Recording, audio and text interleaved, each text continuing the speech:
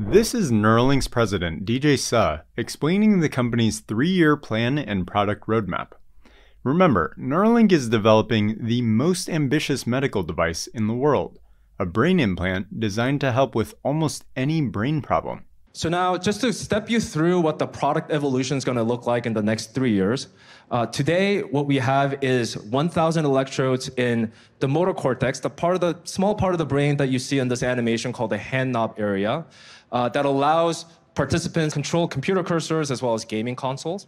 For those who don't know, this means they've inserted super tiny metal strands that have 1,000 electrical sensors directly into the brain tissue. By detecting the brain's electrical activity, they're able to decode and digitize their brain signals so a computer can understand what they want to do.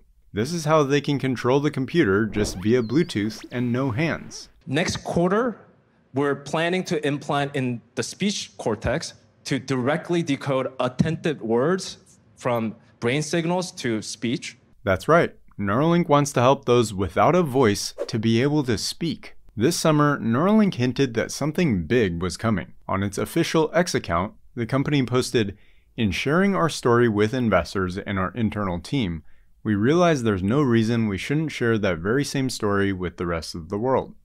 So, in two weeks, we'll have a public demo where we share that presentation with some bonus content. Stay tuned. By giving us a look behind the curtain at these plans, it's clear they are well on their way to helping people who cannot speak, cannot see, cannot hear, and even those who suffer from PTSD or depression. Neuralink has been around since 2016, and now 12 people are already living with the first generation product, a wireless implanted device called telepathy. It's about the size of a coin and sits flush with the skull. 128 flexible threads extend into the brain, each thinner than a hair, and lined with tiny electrodes that can detect electrical signals from the individual neurons. Those signals are decoded and turned into digital commands, moving a cursor, typing a message, or controlling a robotic arm, using nothing but thought. The early patients are already doing these things daily. All of them, paralyzed from the shoulders down, now able to play chess online and use their computer completely hands free. And next is implanting in the speech cortex, where the team plans to translate brain activity directly into words. A lot of us are managing a health condition or caring for someone who is. Maybe, like me, you've been using multiple patient logs, medical test PDF files, and screenshots to keep track of all health records. Today's sponsor, Linkachart, helps you bring everything together your records, tests, and wearable data in one secure place.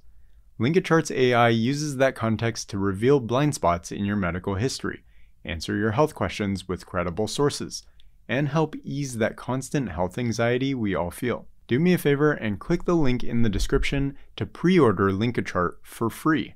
No credit card required. Thanks, and back to the episode.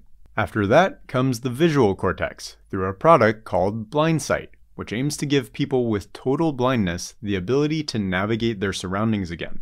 And in 2026, not only are we going to triple the number of uh, electrodes from 1,000 to 3,000 for more capabilities, we're planning to have our first BlindSight participant to enable navigation.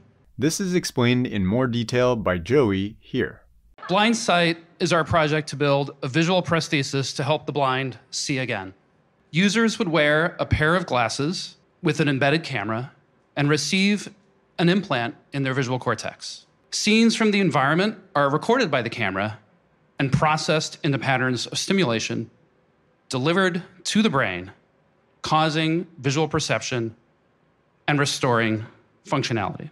Our threads are able to access these deeper structures, providing the possibility of restoring vision over a functionally useful visual field.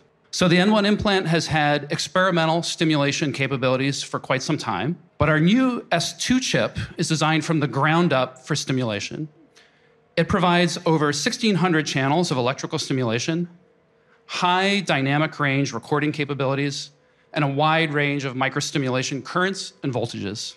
Now, how can we calibrate our implant for BlindSight? So here's one way. We stimulate on the array, picking, say, three different channels the user perceives something, say three spots of light, somewhere in their visual field and points at them.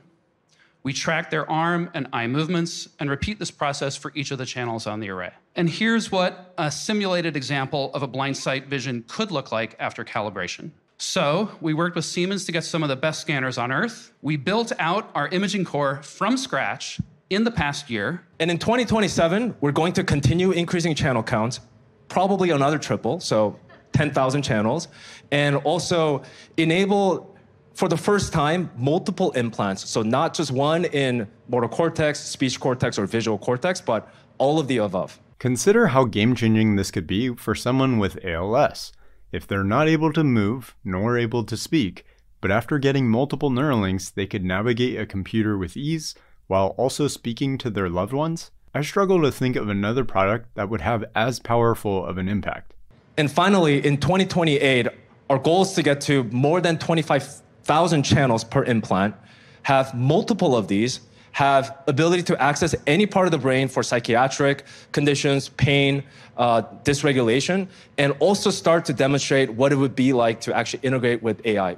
And all this is to say that we're really building towards set of fundamental foundational technology that would allow us to have hundreds of thousands, if not millions of channels with multiple implants for whole brain interfaces that could actually solve not just these debilitating neurological conditions, but be able to go beyond the, the limits of our biology. And this vertical integration and the talented team that we have at Neuralink has been and will continue to be the key recipe for rapid progress that we will be making.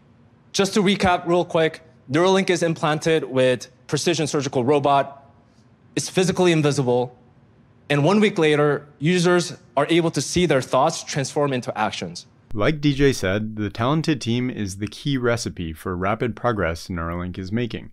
To help bend the future and make a real impact, consider joining the Neuralink team at www.neuralink.com/careers, especially if you're an embedded software engineer or mechanical engineer who's passionate about making the future a reality.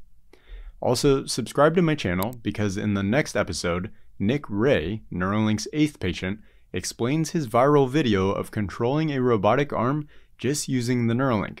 Turn on notifications because I don't enable any ads until a video gets at least 1,000 viewers. If you still get an ad, it's YouTube putting it there, not me. Thanks, catch you next time.